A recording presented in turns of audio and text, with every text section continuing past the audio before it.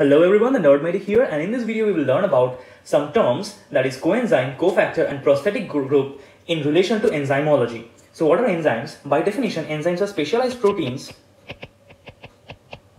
which have the role of biocatalysts, right?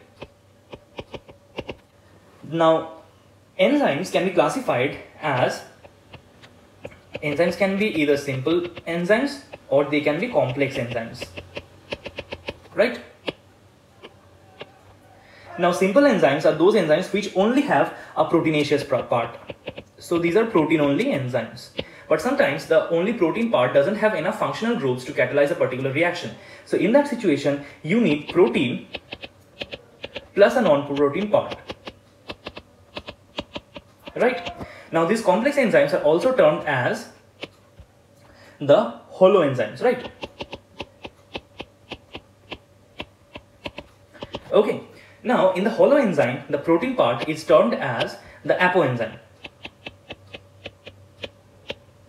And the non-protein part has several other names. So the non-protein part can be known as either it is a prosthetic group or it can be a cofactor. Right. So basically, if we try to express our understanding by now in a mathematical formula, so that will be simply holoenzyme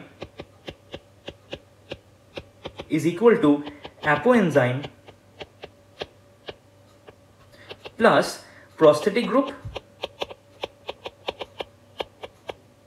or cofactor. Right. Now let us understand in details what are prosthetic groups and what are cofactors. Right. Now suppose we have the protein part of an enzyme over here. This is the protein part. Okay. Now in this protein part, if we have something attached to it by stable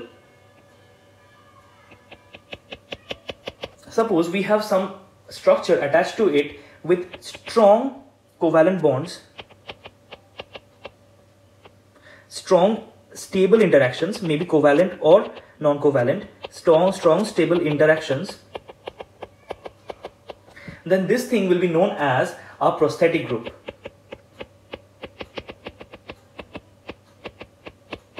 Right, but on the other hand, if this interaction that we can see with some other non-protein part is weak, and transient.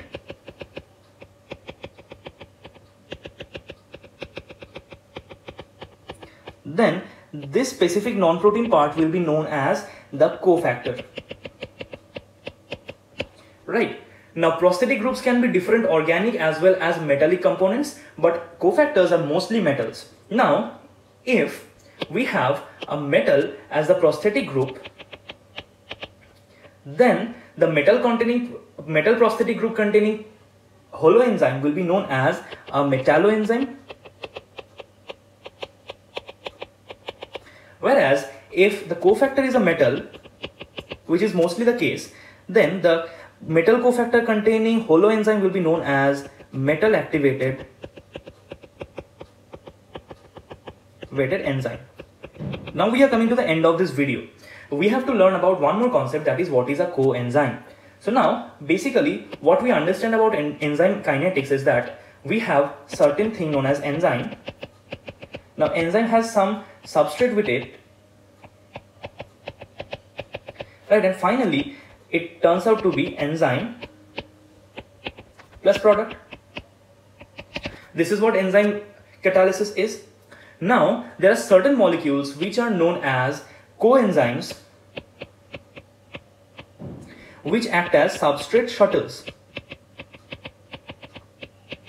That means they bring the substrate to the enzyme so that the enzyme can work on the substrate to make the product. So coenzymes bring the substrate to the enzyme. So coenzymes act over here in this part and act as substrate shuttles. So I believe by this time you have understand the difference between cofactor, coenzyme, prosthetic group, holoenzyme and apoenzyme. I hope you have enjoyed this video. If you have enjoyed this video, please hit the like button, share this video among your peers and friends of medical school and college.